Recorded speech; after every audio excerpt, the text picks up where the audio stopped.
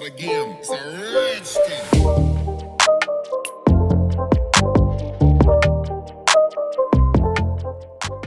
Hello students आप सभी का स्वागत है इस वीडियो में आज हम इस वीडियो में अपनी कविता बहुत हुआ को पढ़ेंगे हम देखेंगे कि किस प्रकार से हमें शब्दों को पढ़ना है, कविता का क्या अर्थ है और अंत में कविता को संगीत के साथ सुनेंगे तो आइए देखते हैं कि कविता को किस प्रकार से हमें पढ़ना है? कविता का नाम है, बहुत हुआ। बादल भैया, बहुत हुआ। कीचड़ कीचड़, पानी पानी। याद सभी को आई नानी। सारा घर दिन रात चुआ।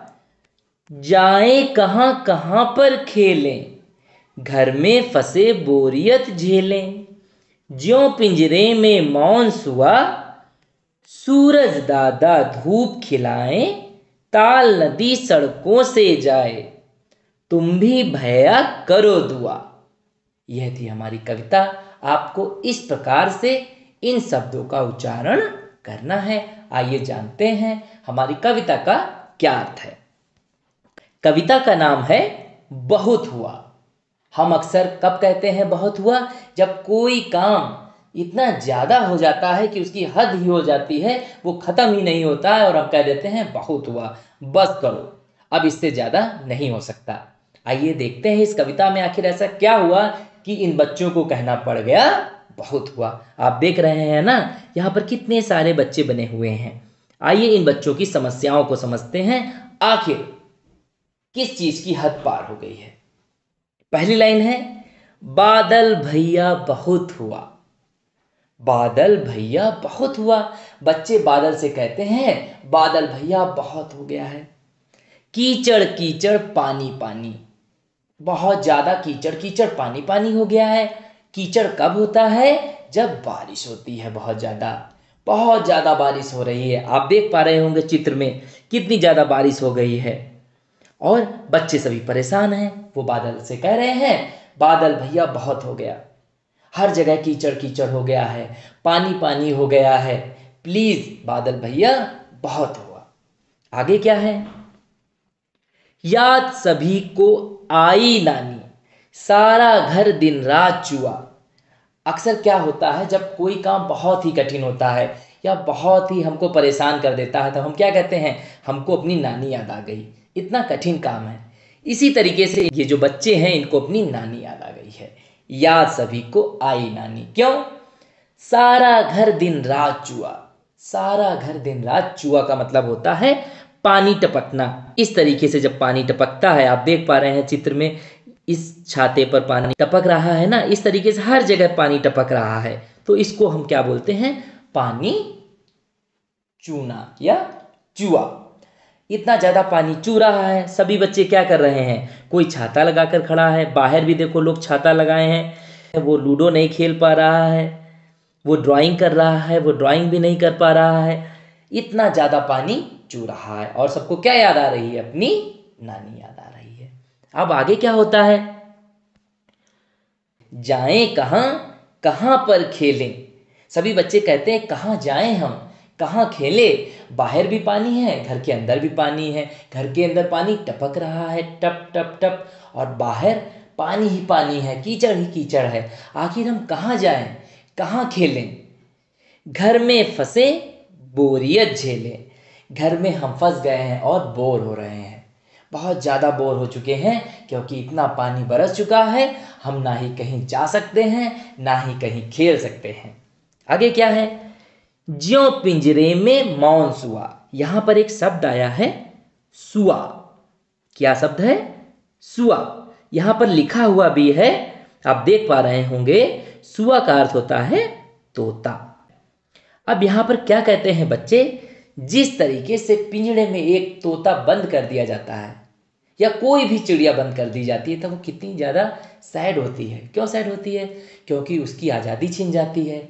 वैसे तो वो खुले आसमान में उड़ती है, कभी अपने दोस्तों से बात करती है, कभी दूसरे पक्षियों से बात करती है, लेकिन पिंजरे में वो बंद है। और वो क्या है? बिल्कुल मौन है, बिल्कुल साइलेंट हो गई है। उसी तरीके से हमारे बच्चे घर के अंदर शांत हैं, बोर हो चुके हैं। इसलिए एक और शिक्षा मिलती है, हमको कभी भी पक्षी को पिंजरे में बंद नहीं करना चाहिए। अगर आपको कोई एक बंद कमरे में बंद कर दे और कहे, सभी खिलौने यहाँ, यहीं खेलते रहो। आप एक घंटे खेलेंगे, दो घंटे खेलेंगे, लेकिन बाद में क्या होगा? आप बोर हो जाएँगे, आपको अच्छा नहीं लगेगा। उसी तरीके से सारे बच्चे बोर हो गए हैं घर में। अब आगे क्या होता है? सूरज दादा धूप खिलाएँ, ताल नदी सड़कों से जाएँ, तुम भी भैया करो दुआ। अब सभी बच्चे सूरज दादा से दुआ करते हैं, प्रे करते हैं कि, हे सूरज दादा, जल्दी से जल्दी आप धूप खिला दीजिए।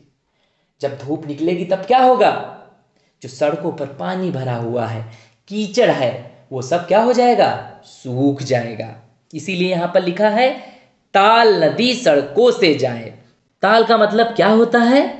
ताल का मतलब होता है पॉन्ड और नदी का मतलब रिवर जिस तरीके से सड़कों पर पानी भर गया है तो कहीं कहीं पर क्या लगता है? तालाब है और कहीं पर लगता है नदी बह रही है। तो सभी बच्चे सूरज दादा से क्या कहते हैं कि, हे सूरज दादा, जल्दी से जल्दी धूप खिला दीजिए और इन ताल नदी को सुखा डालिए। सब पानी खत्म कर डालिए जिससे हम बाहर निकल सकें, हम खेल सकें। और वो सभी बच्चों से कहते हैं कि, तुम भी प्रे करो और जल्दी से जल्दी धूप निकले और बादल भैया हमारे बारिश को रोकते। यह थी हमारी कविता। बहुत हुआ। यह था इसका अर्थ। आइए अब इस कविता को सुनते हैं संगीत के साथ।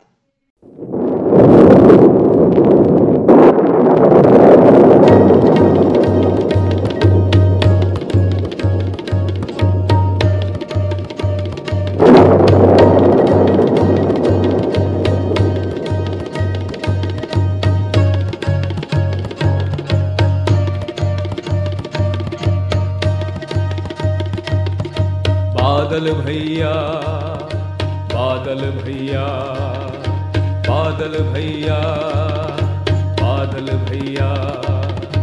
बहुत हुआ बहुत हुआ बहुत हुआ। बहुत हुआ बहुत हुआ बहुत हुआ।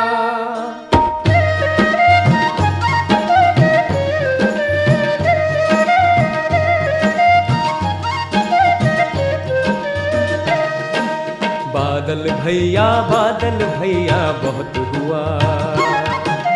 बादल भैया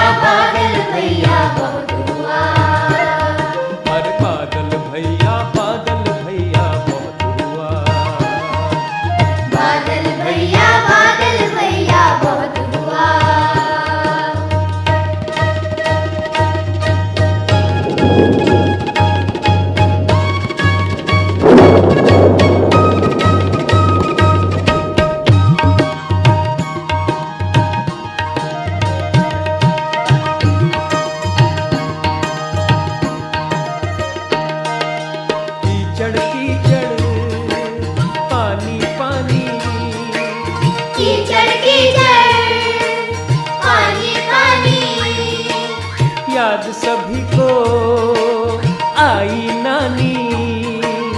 याद सभी को आई नानी।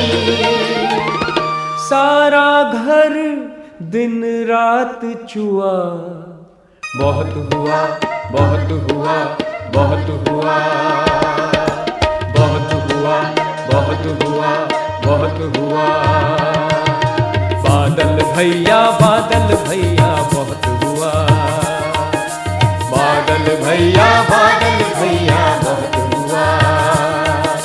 अरे बादल भैया बादल भैया बहुत हुआ। बादल भैया बादल भैया बहुत हुआ।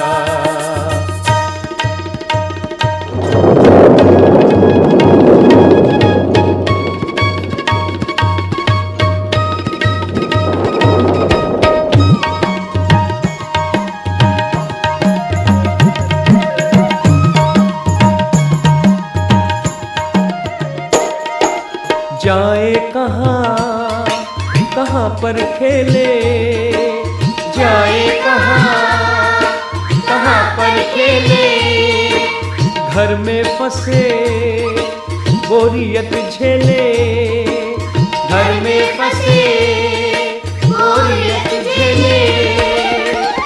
जो पिंजरे में मौन सुआ, बहुत हुआ बहुत हुआ बहुत हुआ। हुआ, बहुत हुआ बहुत हुआ। बादल भैया बादल भैया, बहुत हुआ। बादल भैया बादल भैया, बहुत हुआ। अरे बादल भैया बादल भैया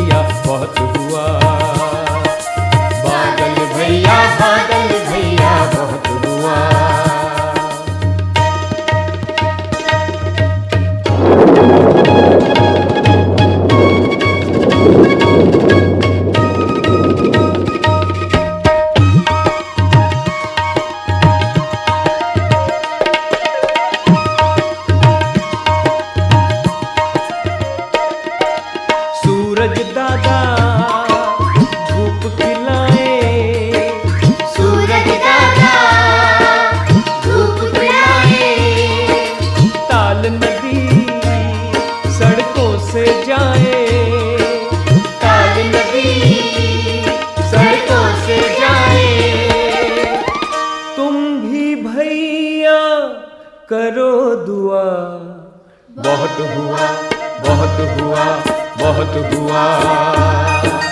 बहुत हुआ बहुत हुआ बहुत हुआ।